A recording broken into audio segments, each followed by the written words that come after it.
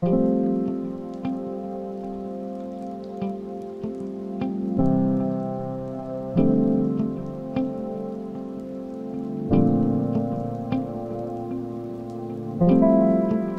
know, I love Yosemite. I was here first time, climbed here when I was 13 years old, 1972. I made my parents stop at El Cap Meadow. I ran up, touched the rock, and I knew right then I was going to climb it. Then I trained myself, and then I came back at 17, tried it, and then did four routes when I was 18. But I want people to be able to have that experience.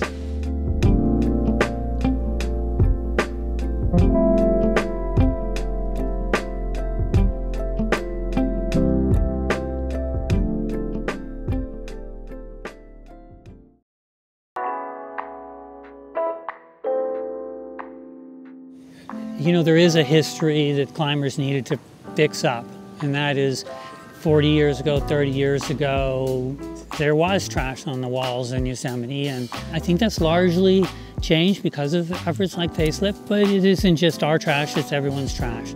When you go to a place, you want to see it as if it was natural. The Yosemite Facelift started 20 years ago with Ken, who is the founder of the Yosemite Climbing Association, and his whole thing was he was a guide and he got tired of seeing trash. Instead of complaining about someone needs to fix it, he was like, well, I'm just gonna do something about it because that's just how Ken is. And my job, not only as a climbing guy, was keep them safe, teach them climbing, but also how to behave in the wilderness. It's like, hey, it's a wilderness area, but watch where you step or you're gonna step in toilet paper. And I wasn't gonna pick that stuff up and put it in my pack, you know, with my climbing gear. So I was angry for years, like, why do people do this? Can't they at least bury it or take care of it? Finally, I just go, you know what?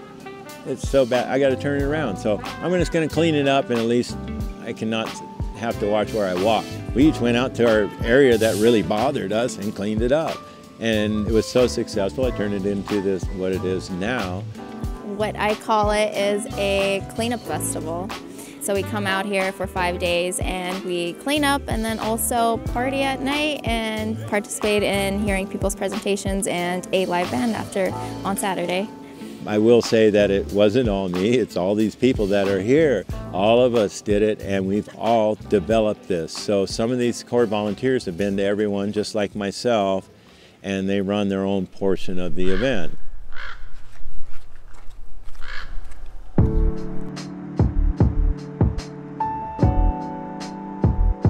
Well, Touchstone started supporting Facelift probably in about 2000 or so. There was an unpaid climbing ranger that needed to be able to make a living, so Touchstone was one of the first funders of that. It's important for us at Touchstone to, you know, continue to foster stewardship just because this is our this is our sport. We love it. This is what the gyms are about. There's a culture of our of people climbing in a gym. This is kind of similar to outside a gym. There's kind of a free nature of seeing something beautiful and being in it. You know, oftentimes climbers are kind of this fringe community that a lot of the public looks up to. Kids often are like super stoked to see you come off the wall with all your gear and asking about it. But it's important to remember like we're not the only ones using these spaces. So being above average stewards and taking care of them is really important. You have a responsibility not to leave signs of your comings and goings to the greatest extent possible. And I think further you've got responsibility to pass that on any way you can to encourage other people to act the same way. I think the coolest thing so far has been just interacting with all sorts of people here. People from all sorts of backgrounds, new to climbing, old to climbing, not a climber, hiker, backpacker, whatever. Just coming out to a beautiful place to try and support it in a way that they can and learn a little bit about it. I think that's probably the best part because it's pretty rare. I think you can get you know this amount of people to accumulate and be that excited about something in an outdoor space.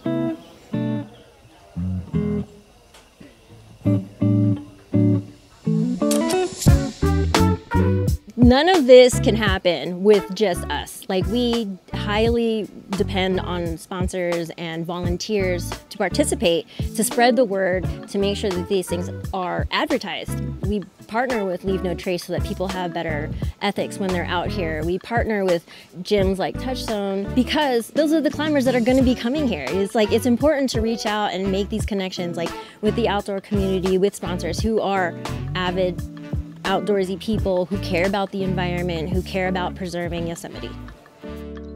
You, you saw the children out here with their vests and so excited that they're out cleaning up trash. They're our future land stewards. They're smart. They know what's going on. You'll see. Kids give me hope.